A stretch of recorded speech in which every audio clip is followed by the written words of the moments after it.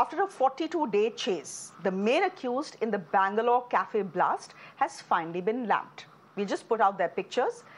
One person is called Musawwir Hussain Shazib. He's the man who plays the ID at the cafe. And then the other person on your screens is a man called Abdul Mateen Taha.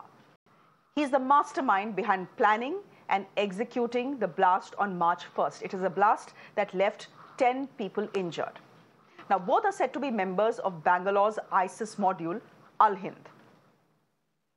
Now, under normal circumstances, the arrest of two terrorists is something that we all should applaud, even the politicians. The NIA says the arrest from Calcutta today was the result of a joint operation between the central agency and the police of four states, including West Bengal, Kerala, Telangana, and Karnataka. All opposition ruled states. Now, I know what you'll say. Terrorism is a national challenge, and a nation needs to fight it together. Leave political differences aside and fight terror together. But I point that out because of the political turn that these two arrests took today. Barely an hour after the arrest, the BJP came out and said the arrest proved that West Bengal is a safe haven for terrorists. বিষয় হচ্ছে পশ্চিমবঙ্গ আন্তর্জাতিক অপরাধী জঙ্গি। তাদের একটা মুক্তাঞ্চল, এটা বারে বারে প্রমাণ হচ্ছে। এই কারণে মমতা ব্যানার্জি বাহাত্তরটা জায়গায় বিএসএফকে জমি দেয়নি, যাতে কাঁটাতারের বেড়া লাগানো না যায়। The NIA with the state police have managed to arrest two terrorists who were on the run for 42 days. And this is the sort of commentary that starts. It's unbelievable. The West Bengal police, under attack from the BJP, tweeted out the NIA statement that had reflected the Bengal police's role in this arrest. Mamta Banerjee then went ahead and did what all politicians usually do take credit. She praised the Bengal police and explicitly said that the accused are not Bengalis but Kannadigas. খড়ংবাজ বলেছে, ব্যাঙ্গালোরে একটা বোমা পড়েছিল। লক্ষ্ণৌও কর্ণাটকের, আমাদের এখানকার নয়। দু ঘন্টায় বাংলায় লুকিয়েছিল, দু ঘণ্টার মধ্যে আমরা ধরে দিয়েছি। আমাদের পুলিশ, আর সেখানে বলছে, বাংলা সেফ নয়। তোর দিল্লি সেফ, তোর উত্তরপ্রদেশ সেফ, তোর রাজস্থান সেফ, তোর গুজরাট সেফ, তোর বিহার সেফ। বাংলার মানুষ শান্তিতে থাকে বিজেপি সহ্য হয় না অত্যাচারী দল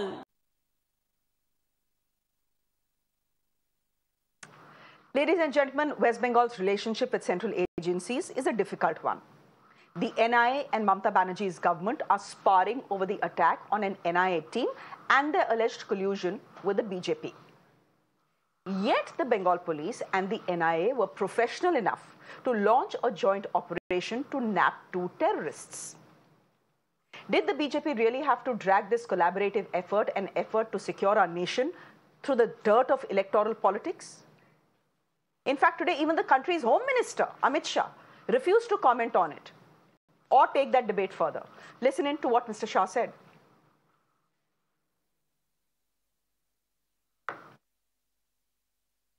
देखिए इस पर मैं इस प्रकार की कोई टिप्पणी नहीं करना चाहता। मैं एनआईए को बधाई देना चाहता हूँ। बहुत कम समय में बहुत अच्छे से इन्वेस्टिगेट कर कर मूल समेत पूरे क्राइम को पकड़ा है।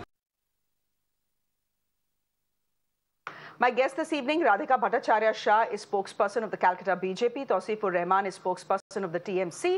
And Yashovardhan Azad is a former IPS. Uh, I think today, Mr. Azad, let's hear from the politicians and then I'll come to you. Radhika Shah, I'm going to start with you. Thank you very much for your time here on Mirror Now to begin with. Can I ask you, where was the need for Amit Malviya to start this entire Bengal is a safe haven for terrorist debate today on a day when the Bengal police and the NIA actually have launched a joint operation and managed to arrest two terrorists within 48 hours. In fact, within two hours of them entering Bengal. What was he trying to say? Okay, I'll start with making an, an announcement to the country. They may not be aware that Ms. Mamta Banerjee is suffering from a disease called the foot and mouth disease. Because every time she opens her mouth, she puts her foot in it. And all she speaks of are lies. The fact that she mentioned that they were nabbed in two hours is a load of bunker. Because the truth is that these people were hiding there since 13, uh, uh, since the 13th of March, perhaps the 13th or 14th of March, and they were in the guise of, uh, of, of, of different names. And uh, uh, Mamta Banerjee claiming that the Bengal police caught them is a fable. The hmm. fact is that it was a joint operation. The NIA was involved, the central agencies were involved, the police of Telangana, of Kerala, of Karnataka, and Bengal were all involved in it. We must applaud all of them. Mamta Banerjee likes to hmm. take credit for something that doesn't belong to her totally. Hmm. So if Mr. Amit Malviya said what he said, So I subscribe to his views. Bengal is the safe haven for terrorists Okay. in India. Because Okay, so this uh, is not no, I'm just going to stick to the specifics. Uh, ठीक है, we'll, uh, just a minute, Radhika ji, just a minute. Uh, let me counter question. Let me ask you a counter question here. Uh, what are you trying to say when you say that these two terrorists had been hiding in West Bengal since 13th of March? Are you telling me that the West Bengal government was shielding them hiding them from um, arrest and hiding them from the NIA? Is that what you're saying? Because if Amit Malviya and you say that you, you that, that Bengal is a safe haven for terrorists, is that what you're trying to say? That there was protection under Mamta Banerjee for these two terrorists? Because that is what I've understood. Absolutely, that's exactly what I'm trying to convey. Bengal has been a safe haven for terrorists since hmm. time immemorial. Let us not pretend that we don't know what's happening in Bengal. We know about Bengal's porous borders between Bangladesh and, and, and, and Bengal. We know that border security forces are not placed everywhere. We know that when they come in from Bangladesh, uh, they come and hide in Bengal under the aegis of the TMC. The TMC leaders give them their cards. They give them their uh, voting cards, their Aadhaar cards, and every other card they need to live here as legal citizens. They come here in hiding, they operate as sleeper cells, and then they attack the rest of India. Not Okay. just this. Sheikh Hasina had warned us a long time ago that terrorists who do the runner from Bangladesh come into India and that we should be forewarned about their activities. So I agree with what Amit Misha, said. And who Okay. has been okay. Uh, before I get the other guests in, I want I want a quick response to this question. Uh, what you're saying defies logic. Are you then telling me that on 13th of March, eight minute, on the 13th of March, these two terrorists enter the state of West Bengal. The West Bengal police gives them protection, and then 12th on the 12th of April, it actually launches a joint operation with the NIA to arrest these two terrorists. How does that make sense? See, Why would you arrest TMC someone you're trying to protect? No, with the TMC government, everything is possible. I believe that they hide the terrorists, they keep them under undercover. I can see the smirk on your face, but I don't find it funny, fair, because I, as a hmm. Bengali, I know what happens in hmm. Bengal, and it's not funny. Because if, if, the, if the TMC and Mamta Banerjee gives umbrage to such people, the entire country becomes unsafe. It bothers the safety and security Okay, and sovereignty of our country. Tausif Rahman respond. I will, I will, look, national security is an important issue. It is not something we should reduce to a frivolous debate. I agree with you there. But some of the things that you are saying, Ms. Shah, simply don't add up. I'll let Tausifur Rahman respond to what you have said. Uh, good evening, Shreya. And, uh, you know, I'll start with one uh, small uh, shairi. कि हम आ भी करते हैं तो हो जाते हैं बदनाम वो कत्ल भी करते हैं तो चर्चा नहीं होता but anyways i was listening to uh, my bjp uh, co-panelist and she was speaking a lot about trinamool congress that trinamool congress was shielding these two people who are accused for uh, terror attack in uh, bangalore uh, i want to just first of all say that we should appreciate the NIA. We should appreciate the West Bengal police. What they have done is a terrific job.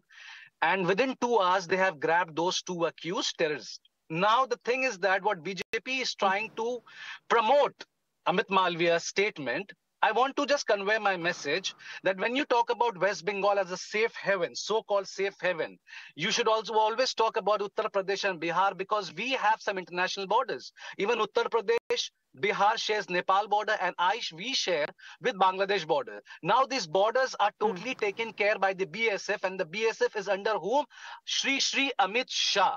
Now let me tell you something. When they talk about the national integrity and national security, where are we going about this whole political agenda? You, you're talking about political radicalization as well. Shriya, why can't you see ये दो लोग arrest हुए हैं कौंटाई से कॉन्टाई कहाँ पर आता है? पूर्व मेदनीपुर। मैं हिंदी में इसलिए बोल रहा हूँ ताकि आपके व्यूअर्स जो इंग्लिश भी समझते वो हिंदी भी मेरी बात समझे। इट इज़ वेरी इंपॉर्टेंट श्रेय Purba Medinipur Contai is the bastion is the capital hub of Suvendu Adhikari and family and you know it very well so shall I do achieve politics saying that since thirteenth of March 2024 the BJP supported by Suvendu Adhikari has been shielding this two people that will be a cheap politics. Now, when you say about Kontai, yes, it is under West hmm. Bengal. It is our duty to take care of everything. Anything under the jurisdiction of West Bengal belongs to Mamata Bandopadhyay. But again, when you want to do a cheap politics, I will say even Narendra Modi should be blamed because he is hmm. my prime minister. He is not just, just the prime minister of Gujarat, Uttar Pradesh, or any ruling state where he hmm. belongs. He is my prime minister as well. But again, Radhika, what I'm saying, it's not, it's not okay. good all about national integrity, security. We have to fight together. And you should pat hmm. not Mamta Bandopadhyay. You should pat not Trinamool Congress. You should pat the Rajya Police, the State Police, the NIA, who have done a remarkable job. But instead of that, what are you doing? You are saying कि रिश्ता क्या कहलाता है you are saying कि इनका गठबंधन क्या है अगर आज यही उत्तर प्रदेश में अगर ये नैप करते if this would have hmm. been Uttar Pradesh and these two would have been arrested from Uttar Pradesh, the headline would have been different. A remarkable hmm. job done by the Yogi hmm. government. Hmm. Within two hours, they have been arrested. This is what are we playing, Shreya? Radhika Shah, I want you. Okay, okay, okay, okay. Give me a minute. Radhika Shah, very quickly, I want you to respond to the allegation. Tausif says he's not making, but he's actually making. On Kontai, and the Adhikari family ruling it and this is the place from where these two terrorists have been caught. Uh, his logic is if, if, if you're blaming Mamta Banerjee for shielding terrorists, uh, you should blame Shubhendu Adhikari and his family for, blame, uh, for, for, uh, for shielding these terrorists because after all, since 13th of March, these two have been holed up in Kontai, which is a bastion of Shubhendu Adhikari and family.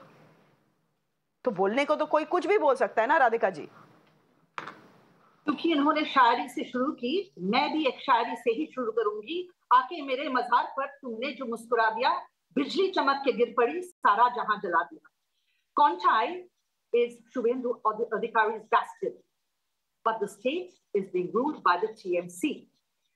I once again reiterate that Bengal is the safe haven for any visiting terrorist. Mm. And if this was the case, the hmm. police are on their toes and working very hard and really smart and effective, then may I ask why Sheikh Shah Jahan hmm. took nearly 50 days to find out?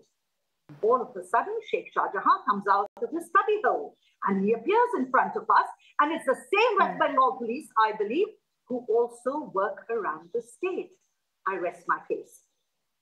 Nee, Radhika Shah. Radhika Shah, fact is I hold no brief for Shah Jahan, Sheikh Shah Jahan. He should have been arrested on day one after the allegations came to the fore. But he's not a terrorist. Let's be clear here. Or, or are you saying even he is a terrorist? Well, he's a perpetrator of a terrible crime. Of course, he's not a terrorist. But what but he's not, that doesn't make him a terrorist. And well, mm-hmm.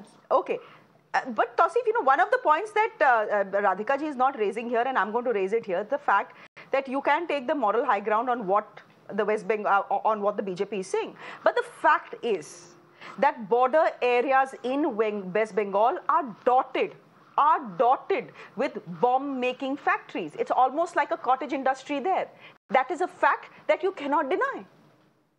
Shreya, I'm, I'm not going to deny that. But can you answer me? Can you give me a full proof plan that these cottage industries, so-called bomb factories, hmm. are created by Trinamool Congress, and there is hmm. no hand from the BJP. I'll remind you, one of the blasts which happened in 2022, the block My leader who belongs from BJP, BJP. But again, Shreya, I don't want to go through cheap politics. We have to see our national integrity. Tausif, we have to talk cheap politics to security. is desh ka is a curse on this country.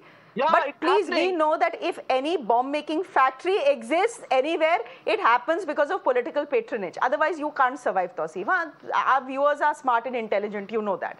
Let me let me bring in Yashovardhan Azad here. Yashovardhan Azad, Yashovardhan Azad, are you shocked by the sort of commentary, political po- commentary you're seeing over the arrest of two men slash terrorists accused of planting an IED at the Bangalore cafe? I mean, one would think that this is a time when the entire nation takes a deep breath and says, thank God. Instead, in the middle of election season, it's become a political debate. Well, I must say at the outset that it was a very interesting debate which I've uh, heard so far. The best part, of course, was the shairi from uh, both sides. Let me uh, state at the very outset two, two points. One is that this arrest has resulted out of excellent investigation by the NIA and an excellent cooperation between NIA and the West Bengal police, especially the East Midnapur SP, and the southern states. Because if you see the trajectory of the entire, you know, uh, the investigation, which started on 1st of March with the blast, it went through various states. NIA has almost given the record because of the CCTV, because of the support of the various state governments. They were getting leads and leads, and they caught people who provided the SIMs, they pro- who provided the facilitation. So I think in that respect, it was excellent. What does it prove, Shreya? It proves hmm. that whenever you have a national security issue, whenever you have a terror crime in which politics is not involved, the cooperation already exists between the state police and the central agencies, which is an excellent prognosis uh, for the future. Second is a point which I have always maintained on your shows, many a times when you've called me for these terror discussions, is that whenever a terrorist action takes place, you know, the politicians should hold their horses and not immediately, you know, give out their comments. This is what happened, if you recall, and I, I think I was on one of your shows, that comments were coming from all sides. Deputy CM of Karnataka, you know, then, then the top BJP leaders from this side, whereas it was a classic terror case in which only the, the police, the mm-hmm. intelligence, and the central agencies should have been involved. Let me uh, speak my third point here mm-hmm. that the future is, is, is troublesome in the sense that, you know, you had SIMI cadres merging into PFI when you banned SIMI. When you banned PFI, they merged into the IS cadres. And today you have a classic example hmm. of an investigation where it is proven that it's an Islamist terror and it is an act by the IS cadres. Hmm. The worst part is we are even, you know, talking about terror financing through cryptocurrency. So here is a time when we should all, as you rightly said, get together. There should be more cooperation between the central agencies and the state agencies that the next two months that we go through a very peaceful elections and see that nothing Okay. happens even later. That's a very important thing which I wanted All right. to convey. Mr. Azad, Mr. Azad, we leave it, leave it there for the moment, and we all hope and pray that we will have a peaceful election. It starts exactly in a week from now. Uh, but this is a moment for us, all of us, to pat the NIA's back and pat the West Bengal police is back. And the BJP could have done better than to sour this moment, frankly. Uh, even the Home Minister of this country refused to make any comments about uh, what the BJP has been saying about the issue. So I think that says something as well. We'll leave it there for the moment. Radhika Bhattacharya, thank you very much for joining us. Tausifur Rahman, thank you very much. And Mr. Azad, always good to have you on the show.